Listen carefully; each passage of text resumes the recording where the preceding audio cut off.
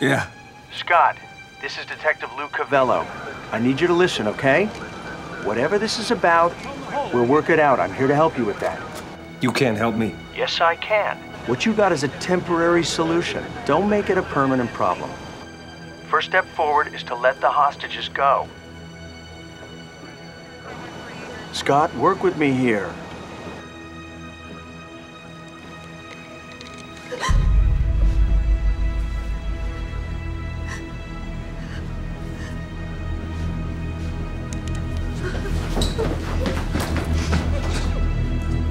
Good.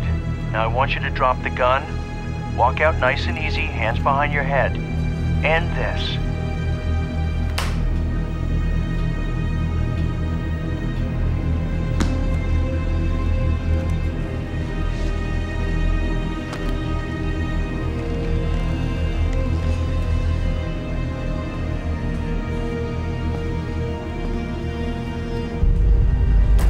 You're doing real good, Scott. Now drop the gun.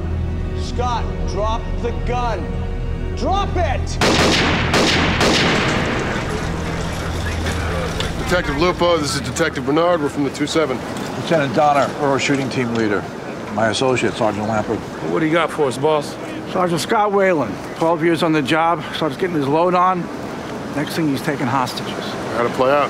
The guy drew down. Gun wasn't even loaded. Cop suiciding by cop. Okay, well, we can help you canvass for witnesses. Uh, We got it covered. All right, well, how are you fixed on interviewing the officers who fired? We'll handle the interviews. Maybe we can get you some coffee. You know who you're talking to? We're not trying to step on your toes, Lieutenant. But we need to be able to tell our CO there's a good reason we're not working our usual cases.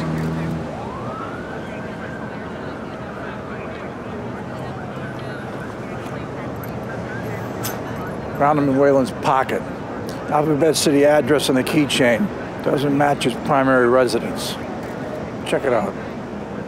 And report back. Maybe we can get you some coffee?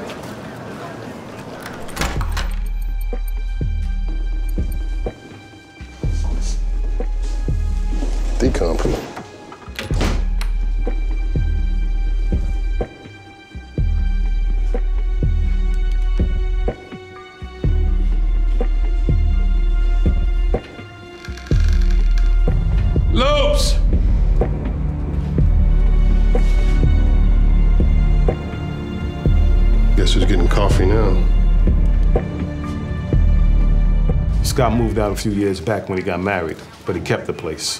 Rent controlled apartments. People like to hang on to them. What do you do, sublet it? Yeah, he had a Russian grad student for a while, but the guy bugged out a few months ago. And since then? Place has been empty. Scott couldn't find another tenant. He got way behind on the rent. Landlord gave him to the end of the month. Then he was going to evict him. Okay, thanks.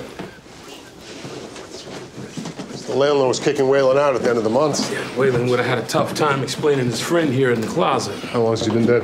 A week, give or take. There's blood caked on the back of the skull there. Yeah, we found a dent in the wall over by the window with blood spatter. One thing might have something to do with the other. You think? You happen to find any idea why you've been poking around? No, but I'd say what you have here is a male Caucasian, 60 to 70. Rich male Caucasian. Merino wool, inlaid ivory buttons. What do we got here? Uh, Whalen had the lease on this place. He was keeping it as a sublet, but it's been empty except for the John Doe there. Going by the size of the maggots, he's been dead about a week. Yeah, looks like he died in a struggle. Maybe with Whalen.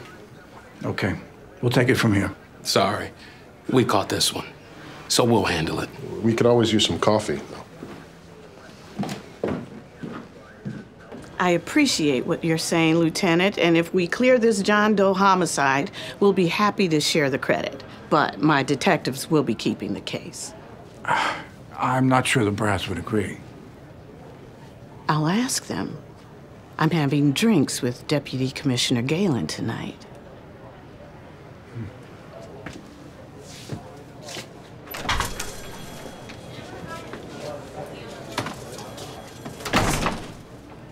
Now tell me you're gonna clear this case.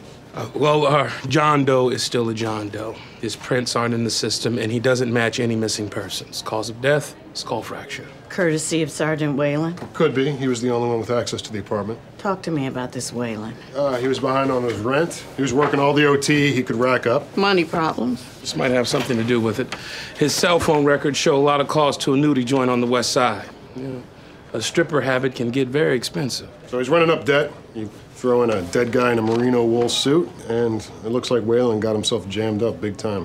Which might explain why he decided to go out in a blaze of glory. Talk to his widow, see if she knows who this man in the wool suit is. I can't believe it. Well, between the sublet and his overtime, we can see the money was a big worry. You want to tell us about it? Trisha, there were a lot of calls from Scotty's phone to a strip club. Do you know anything about that? Scotty said we weren't supposed to talk about it because it's against department rules. Oh. He worked there. Yes, as a bouncer. A second job on top of his overtime. Why'd he need money that bad? It's all my fault. I was so stupid. What, what'd, you, what'd you do? It was a scam. I got an email from some official person in Nigeria. They said that they needed my help, and if I put in a little bit of money, I'd get a lot back. It all looks so official. How much did they take you for? 62,000. All of our savings. I thought Scotty was gonna kill me, but he was so sweet. He forgave me. Well, he must have loved you a lot. We're trying to identify someone he might have known. Older guy, 60 or 70, white, well dressed, maybe rich. That's not familiar. No, that doesn't sound like anybody Scotty knew. Did you know that you had something taped to the bottom of this? No? Let's see what we got here.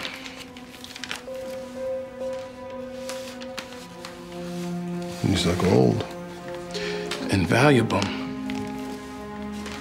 letter from Ulysses S. Grant to Jefferson Davis. And this one is a deed of trust written to Woodrow Wilson. God, Scotty, what did you do?